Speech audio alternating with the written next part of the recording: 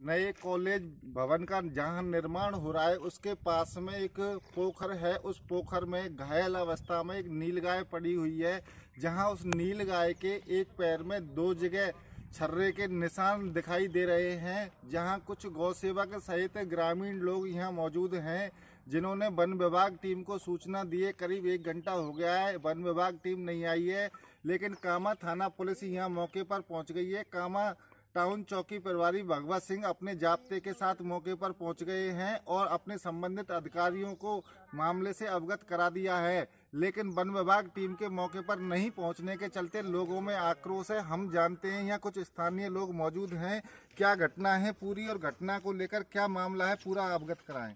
जी क्या नाम है आपका? निरंजन जी क्या मामला है ये पूरा? अच्छा अभी लगभग डेढ़ घंटा पहले हमें सूचना मिली कि ऐसे बिलोंद रोड पे कॉलेज के पीछे एक नील गाय में गोली मार दी है। तो हमने यहाँ आके मौके पे आए आकर के हमने रेंजर साहब को फ़ोन किया। एक घंटा से अधिक हो गया है अब तक वहाँ से कोई भी नहीं आया। फिर हमने थाने पे फ़ोन किया तो थाने से पुलिस चौकी वाले आ गए हैं और और भी भीड़ यहाँ इकट्ठी हो रही है, लेकिन वन विभाग वाले अभी तक यहाँ कोई भी नहीं आया है। दोबारा फ़ोन किया रेंजर साहब को तो रेंजर साहब बोले कि आप उनका इलाज करा दो और आपको मैं पैसा दे दूँगा बाद में। ये कह के कर दिया, लेकिन अभी तक यहाँ पर कोई नहीं आया और ये यहाँ पानी में पड़ा हुआ पड़ा हुआ है, नील गाय और तड़प रही है। ये तो इसका मतलब वन विभाग की बड़ी लापरवाही है मौके पर नहीं आ रहे हैं और पैसा देने की बात कर रहे हैं।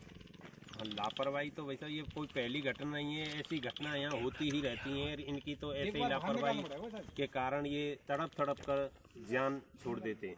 अब जो नील गाय घायल अवस्था में है इसमें क्या फायरिंग है या छर्रे हैं क्या है?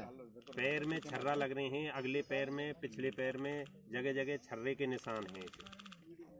आप जब यहाँ मौके पर पहुँचे तो आपको भी ये पोखर में ही मिला और पोखर में ये जो निशान बन रहे हैं किस तरीके से क्या है पूरा ये? पोखर में ये पानी पीने आया है दोपहर को और दोपहरी में लगभग बारह एक बजे के लगभग यहाँ गोली मारी है इसमें। और गोली लगते ही ये यहीं गिर पड़ा और यहीं तड़प रहा जभी से यहीं तड़प रहा है पानी में। अभी यहाँ कुछ स्थानीय लोग कह रहे थे कि यहाँ दोपहर को फायरिंग की आवाज़ भी सुनी थी धमाके की आवाज़ हुई थी। क्या मामला है ये? हाँ ऐसे बोल रहे हैं कि भाई आवाज़ तो आई, लेकिन हमें ये नहीं पता कि भाई कौन था। ये थे निरंजन पंडित जी, जिन्होंने बताया है कि रेंजर को करीब एक घंटे से अधिक का समय हो गया है फ़ोन किए, लेकिन वो मौके पर नहीं पहुँचे हैं और नील गाय पानी में ही तड़प रही है। कामा थाना पुलिस से कामा टाउन चौकी प्रभारी भगवत जी यहाँ मौके पर अपनी टीम के साथ आ गए हैं। जानते हैं भगवत जी से पूरा मामला क्या है? भगवत जी, क्या है घटना पूरी है? आपने देखा है? जो अपना रोजड़ा है, वो पड़ा हुआ है। ऐसा लगता है इसकी चोटें आई हुई हैं, जिसका डॉक्टर साहब अभी देख कर उपचार कर रहे हैं। इसमें चोट किस चीज़ की मान रहे हैं? कुछ लोग फायरिंग की बता रहे हैं, जैसे छर्रे के से निशान लग रहे हैं। अब ये पूरी जानकारी अपने डॉक्टर साहब के माध्यम से जानकारी करके बताएँगे। हो सकता है छर्रे भी होने तो ऐसा लग रहा है कि इसकी घायल अवस्था में हो गई। काफ़ी देर हो गई वन विभाग की टीम नहीं आई है। स्थानीय लोगों ने यहाँ स्थानीय पशु चिकित्सक को बुलाया है न सरकारी कोई चिकित्सक आया है।